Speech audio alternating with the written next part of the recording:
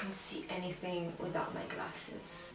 Test, test. We gonna test it. Test, test, test. Hello, hello, hello. No, seriously. I forgot to turn the music off. Jesus Lord. Okay.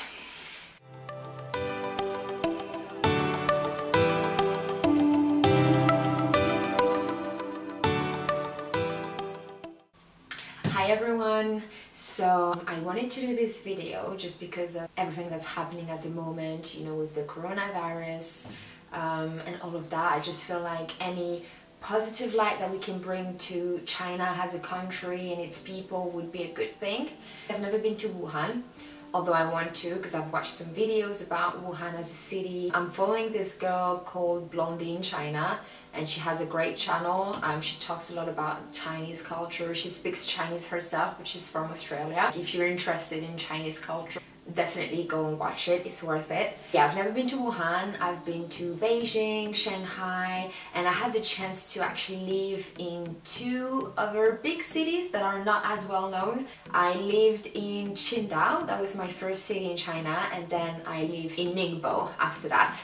But i'll just talk about qingdao today because it was my first experience in china. To be honest china was never a country that really attracted me that much. I was always attracted to asia um, especially japan Japan because I grew up with manga and stuff like that but never really China. And uh, I came across this organization while I was at uni. Excuse me. We used to have a lot of job fairs but this company actually came and did a presentation in our classroom and they were called InternChina. We'll put a name here. Ah, so professional um, so yeah, they were called, they are called, because they're still up and running, InternChina. This person basically came in, talked about what they did. They are a, an internship provider company. And at the time, I believe they only had three locations in China. I will put a map of the, the cities they cover in China. Uh, definitely Qingdao, obviously, Zhuhai, and there was a third one. I can't remember now, but I'll, I'll put them up. And they actually expanded a lot because now they are covering Taiwan, uh, Taipei to be more precise, and they also expanded in Vietnam, Ho Chi Minh, and I believe in Mexico as well.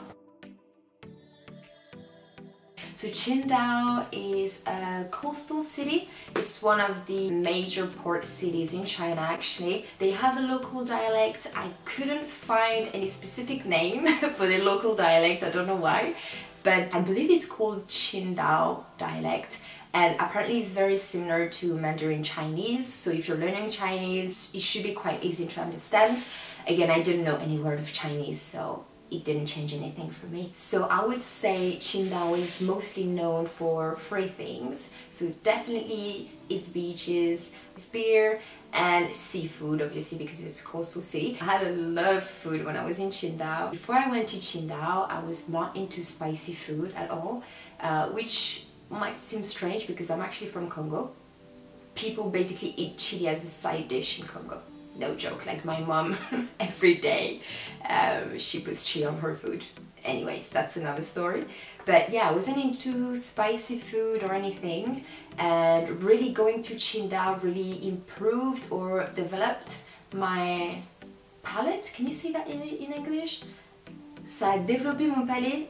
I don't know if you can say that in English. I'm gonna say it. No, if you're not into seafood, there are other options in Qingdao. Like I said, they have barbecue, they have halal noodles. I just remember we had a really nice restaurant near where we used to live. We used to go there like once or twice a week because it was so cheap and the portions were huge. Like you would eat so much for uh, such a small amount of money and uh, it was right next door like five minutes away from where we lived. So you can have those you can have vegetarian options but there's everything for everyone. Qingdao is really well known for their seafood specialities so they have salted clams which is my favorite dish and still is to this day like a good dish of salted clams with egg fried rice. Oh, yes. I have uh, eggplant and even eggplants I didn't used to eat but the ones I tried in Qingdao like yes you want to get on with that too.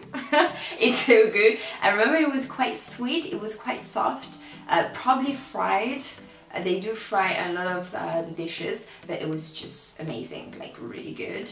And what else they have? They have sea cucumbers. Now, that's not so much my thing, but if you're into this, you know, just try it. Why not?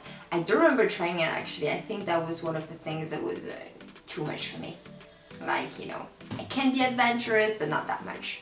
Many things, obviously fish dumplings, a lot of street food. Ah, they have, I remember having those, I think it was more for breakfast, those sort of uh, pancakes. They would put sometimes sausages or vegetables, eggs, and people would either eat that for breakfast or for a snack. I remember this because we used to have one near my office and also at the beach when we used to go, we used to get them as well. So good.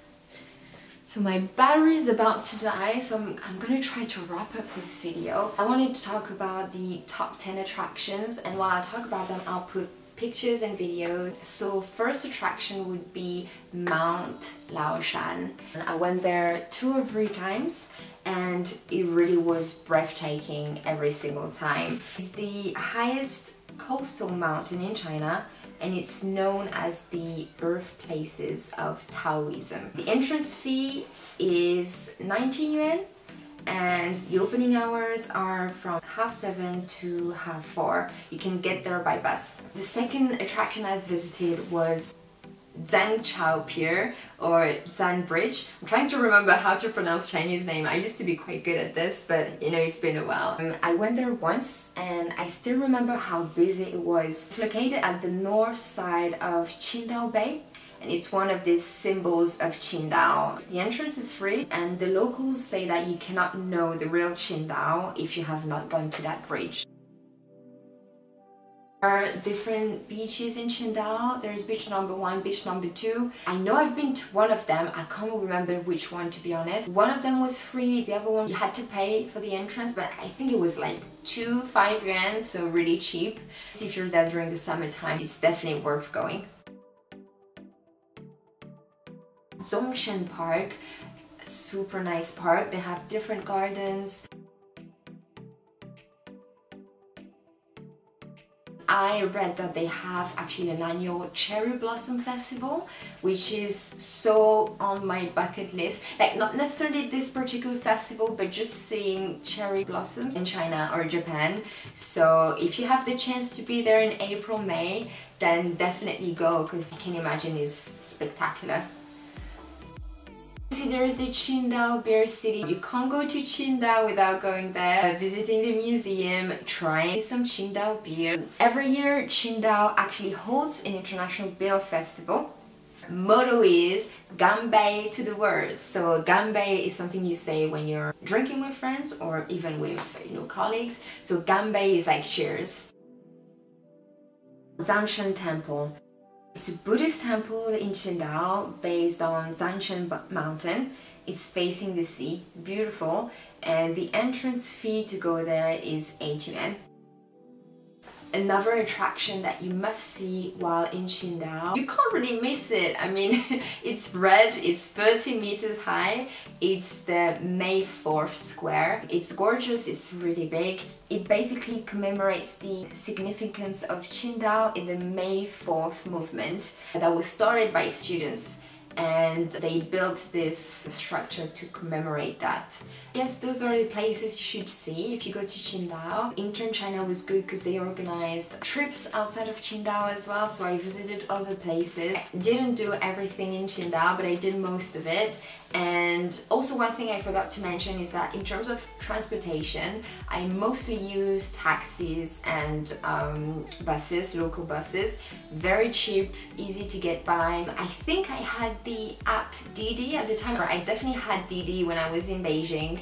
But basically in Qingdao you can just hail a taxi on the street which you know sounds easy but it really wasn't that easy because when you're a foreigner they don't always stop because I guess they just don't want the hassle of having that awkward conversation with foreigners that don't speak Chinese trying to make them understand where you want to go and some of them just don't they don't have time for that. So I hope you enjoyed the video as much I enjoyed doing it. It was really nice seeing all this footage from Qingdao. And if you have any recommendation please let me know. I'd love to go back to Qingdao one day and I definitely want to go back to China because there are so many other places I haven't been to that I want to visit. If you've been to Qingdao yourself please let me know. I'd love to know what your experience was like and uh, yeah thank you for watching